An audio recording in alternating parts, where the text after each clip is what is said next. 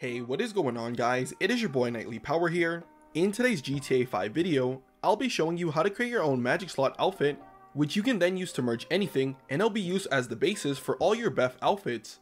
So if you guys are enjoying today's video, be sure to drop a like and if you're new to the channel, consider subscribing for more awesome content just like this. Now with that being said, let's jump straight into it.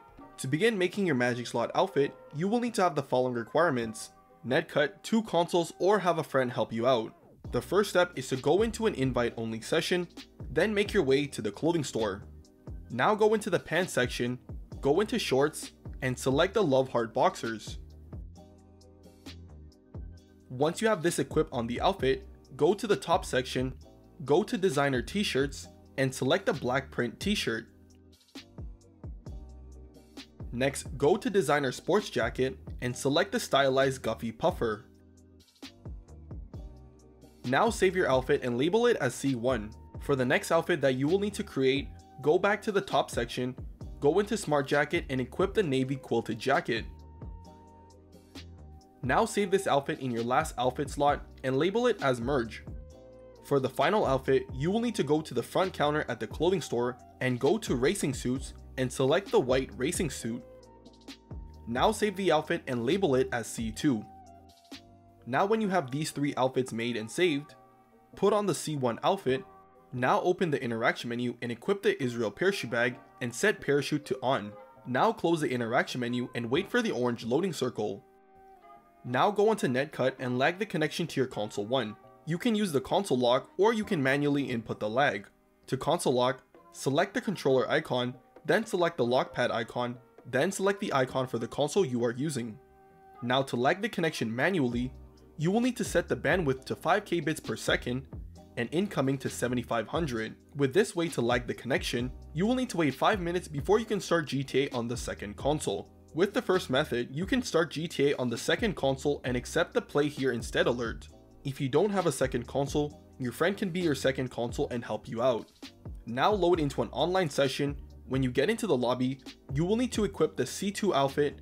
After putting on the outfit, wait for the orange loading circle, then close your game. Now on console 1, if you're using console lock, you will need to remove the parachute bag then get the orange loading circle before you disconnect the console lock. If you manually input the lag, you will need to set the connection to unlimited, then remove the parachute bag and wait for the orange loading circle. Now go into story mode. If you don't own story mode, you can close your game and relaunch GTA and load into an online session. When you load into the session, your outfit should look something like this. Now you will need to start up any merging job that you can set clothing type to player owned. Once you're in the merging job and in the selection screen, go one to the left and one to the right. Now when the job begins, you will need to equip an earpiece, then pull up the phone and leave the job. Now go to the clothing store and save this outfit as C2 Keep. You will need this outfit to build any BEFF outfit.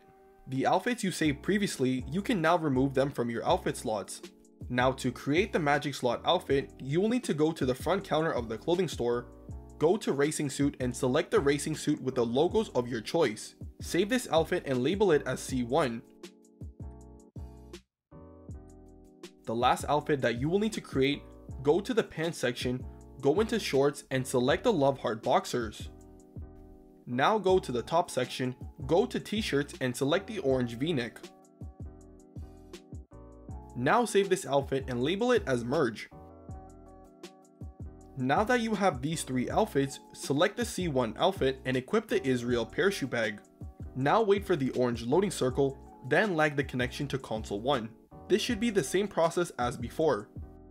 On console 2, you will need to equip the C2 outfit, then wait for the orange loading circle, then close your game. On console 1, you will need to follow the same process as before, remove the parachute bag and wait for the orange loading circle, if you have story mode, go into story mode. If not, close your game then relaunch the game and load into a session. When you load into the session, your outfit should look something like this. Start up the merging job and in the selection screen, go one to the left and one to the right. When the mission begins, equip an earpiece, then pull up your phone and back out of the job.